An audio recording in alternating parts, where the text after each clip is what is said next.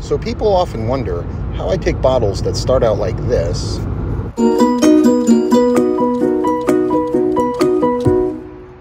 and turn them into this.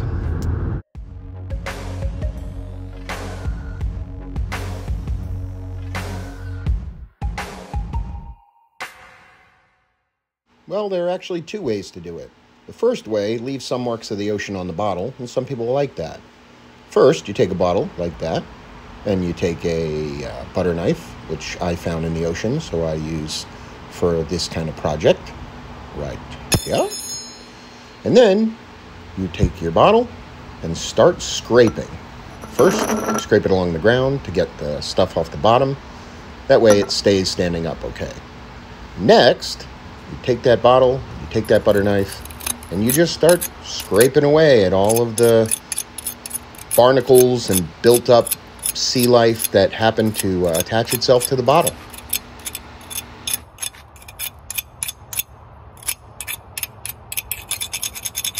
Oftentimes, there's a lot of scraping to do.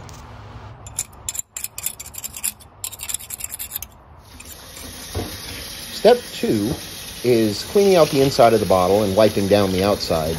This is in preparation for step three, which is a more detailed cleaning.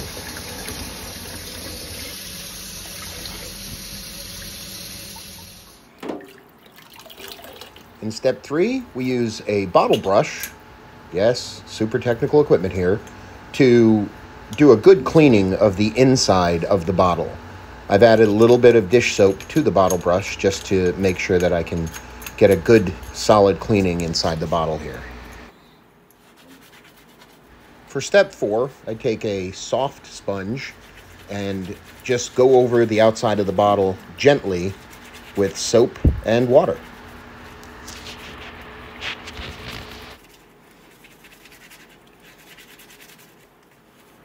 Step five is simply just drying the bottle out inside and outside. After all that, what you have is a beautiful bottle that still has the marks of some barnacles and some sea life that was growing on it around parts of the bottle itself. The bottom of the bottle is now clean enough so that you can see the maker's marks and the word Tacoma on it.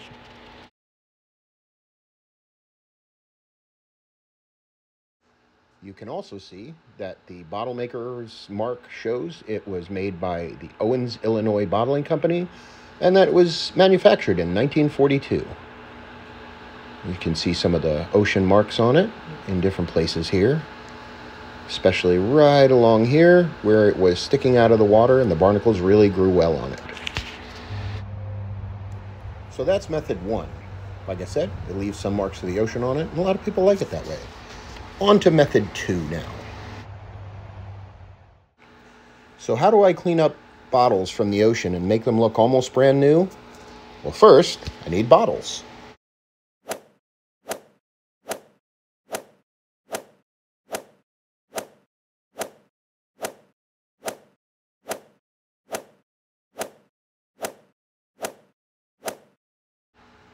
Now that I've got bottles, I need the tools with which to clean them. And the first of those tools is a bucket. Then good sturdy gloves, very important, and you'll see why in a minute. Then some brushes. A big brush, that's helpful. Uh, some sponges, I usually cut them into pieces. That's helpful for getting into small bottles. There's another sponge. Then we've got a toothbrush, really good for getting into small bottles as well. We've got a big bottle brush that gets around a lot of cracks and crevices. And then we got a couple of small bottle brushes for really tiny bottles. They're really helpful. We've also got not one, but two coat hangers bent to certain angles to get into certain bottles. And probably the most important thing of all, muriatic acid. So this is where we combine everything. First, we get some very hot water, put it into our bucket to get it ready for the bottles. Then we get a bottle. Here we go. It's one of the bigger ones. And you try to fill it all the way to the top. That way it uh, stays at the bottom of the bucket. Of course, you got to make sure that each bottle gets enough water or else they'll float and that doesn't help with the uh, cleaning process at all. Tiny bottles can be a pain. You really have to hold those under until you make sure they're completely full. Once you've got all your bottles in and you fill your bucket to about four-fifths of the way, you take your gloves, you put them on, and you pour in your muriatic acid. I use the rings around the top of this bucket to let myself know just how much muriatic acid I'm putting in compared to the water. It's about an 85-15 split water muriatic acid. And the chemical reaction that the muriatic acid causes happens pretty much instantly. That bubbling is all the organic material being burned off. The next step is to wait between two and four hours while all that organic material is being softened up by the acid. Once the acid has finished doing its work, it's time to get the bottles out. Make sure you put your gloves on, and then you start taking out the bottles.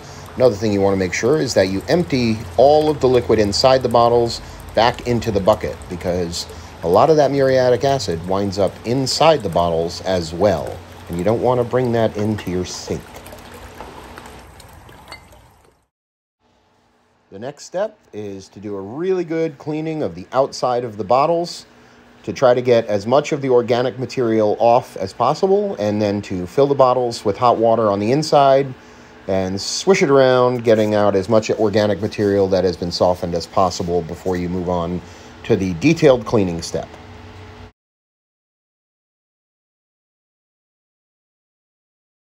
And now we start with that detailed cleaning. Uh, most bottles, you can use a soft kitchen sponge to get what's left of the organic material off after the uh, acid bath treatment. Uh, sometimes it takes a little bit rougher a cloth. You can use one of those green scrubby pads, and those usually get most of what's left off if your blue soft sponge doesn't do the trick. And this one bottle happens to be a good example of that. So here's a, a green scrubby sponge that I'm going to have to take off some more material with that didn't quite get taken off by the acid treatment. Now stick with me, this is where it gets technical. I take my blue soft sponge, put kitchen soap on it, squeeze it into the bottle, then I take this steel hanger, which I've shaped specifically for this job. And trust me, it took a couple of years of trial and error to get the right tools for this job. But these work really great. Then I do exactly what you see me doing. I spin the bottle around and make sure I get every single inch of the inside of the bottle with the sponge. And then I uh, pop the sponge out with the hanger. And then I clean it out and review to see if I've gotten all of the dirty spots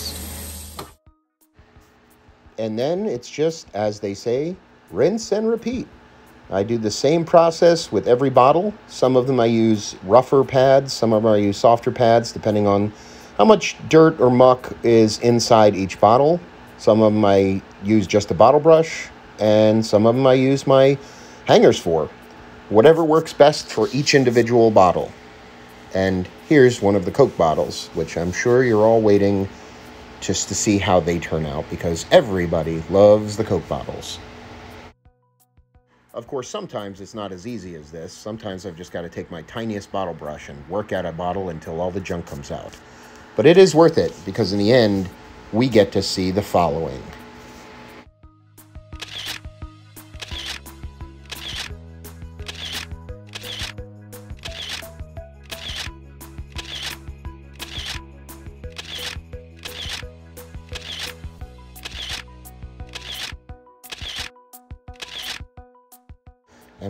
To see these bottles go from this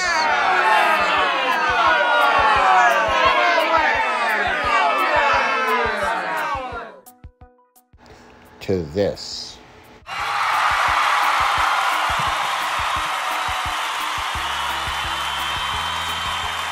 So now I'll give you a little information on each of these bottles, including what they were, if I know, who made them, and when. This one was a Nesbitt's of California soda bottle made by the Glass Container Corporation. You'll see that maker's mark in a minute. Uh, they were in business from 1934 to 68, and this bottle was made in 1957. This is what it originally looked like. I found this picture on the internet. And here you can see the maker's mark with that GC on the top center. That's Glass Container Corporation. This is a large Hires root beer bottle made by Owens Illinois Glass Company, who used the mark on here from 1929 to 1960. This bottle was made circa 1937 to 57. I say 37 to 57 because for many of their customers, Owens Illinois only put the last number of the year on their bottles for these three decades. And this is a small Hires root beer bottle made by Owens Illinois uh, manufactured circa 1935 to 55. I really love these two bottles. Uh, they're basically twins, except one is obviously bigger than the other, and it's super rare to find two bottles in such great condition that are mirror images of each other. This is a good time to talk about the Owens, Illinois Bottling Company. Owens, Illinois which is still in business today, is one of the largest bottle making companies in existence, which is why almost all of the bottles you see in this video, even though I found them on multiple dives in multiple places, have a variation of the Owens, Illinois stamp somewhere on them. This is a Fresca soda bottle made by Anchor Hocking Glass Company, which was in business from 38 to 80, and this one was made in the mid to late 70s. You can see right in the middle that was that Anchor Hocking symbol, and this is what it would have looked like with the painted on logo and advertisements on it. And this is a great example of how ubiquitous Owens, Illinois has become. These are three different soda bottles from three different companies, made in three different years, but all by Owens, Illinois. The first one is the Arctic Bottling Company soda bottle. Uh, it was made by Owens, Illinois, circa 1933 to 53.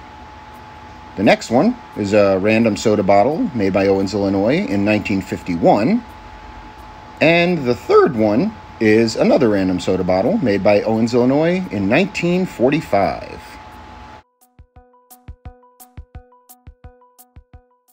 But here's what you all came to see beautiful old Coke bottles. Now, a note on these Coca Cola used to have its manufacturers stamp the name of the towns that the bottles were supposed to go to on the bottom of them. So when they got there, you'd be drinking a Coke from your hometown, or at least so you thought. Most of the bottles were actually made out of those towns and then shipped to them. And, not surprisingly, all four of these Coke bottles, as were most of the Coke bottles of this era, were manufactured by the Owens, Illinois Bottle Manufacturing Company, as you'll see by the maker's mark stamped on the bottom of them in a few moments. And as we look at the maker's marks on the bottom, you'll also see that Coca-Cola had Owens, Illinois, helpfully, print the actual last two digits of the year that the bottle was manufactured on the right-hand side of the maker's mark on each of these bottles. Very helpful for dating purposes.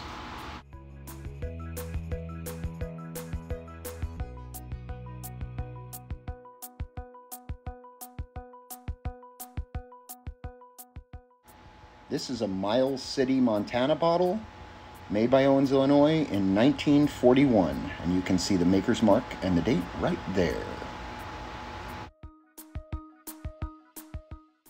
Here's one of the Tacoma Coke bottles I found, made by Owens, Illinois, also in 1941, as you can see right there. And this is the second Tacoma Coke bottle I found. This one was made by Owens, Illinois in 1947. And finally, a Wenatchee Coke bottle made by Owens, Illinois in 1946. Now, this bottle, this is why we bottle dive. This bottle was made by John Lumb Company, which was only in existence from the 1870s to 1905, which means this bottle was manufactured circa 1880 to 1900. The uh, bottle has lots of occlusions or little glass bubbles in it, and you can see some sort of design printed on it, which is where the painted on logo was basically permanently plastered on it by wave and sand action. Here you can see the J. Co. and some air bubbles. And this bottle is anywhere between 125 and 150 years old. That's pretty cool.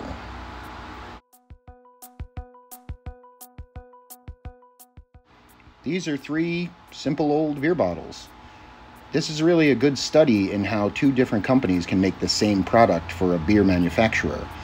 Those two twin bottles, one was made in 1945 by Northwestern Bottling Company, and the other one was made in 1955 by, you guessed it, Owens, Illinois. But they still look exactly the same. And this pudgy little long neck, so to speak, bottle was made by Northwestern Glass Company circa 1947.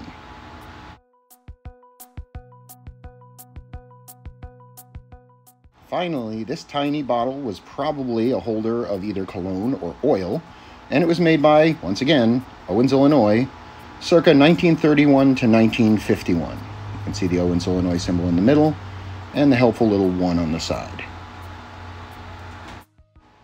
So as we look over some of my collections of bottles, all of which need a really good dusting, these Coke bottles each have a different town or city name on the bottom of them, you can see the amazing variety of bottles you can find here in the Pacific Northwest.